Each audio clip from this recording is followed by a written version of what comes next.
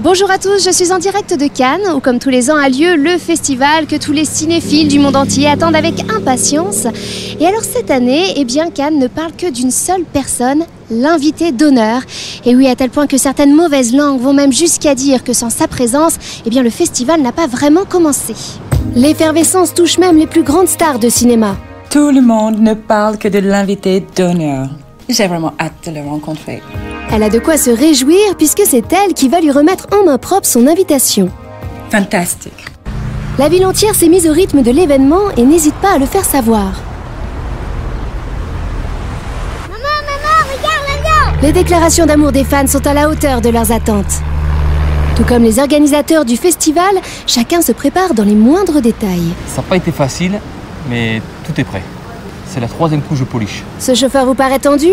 C'est tout à fait normal. Il a été choisi pour conduire l'invité spécial. Ah oui, oui, oui. Grosse responsabilité. Même lors de la montée des marches, le public n'a Dieu que pour la nouvelle vedette du festival. Et oui, comme vous avez pu le constater, l'effervescence est à son comble ici à Cannes. Regardez autour de moi, l'enthousiasme est véritablement collectif et communicatif. Une seule question reste sur toutes les lèvres, mais quand verra-t-on enfin l'invité que tout le monde attend?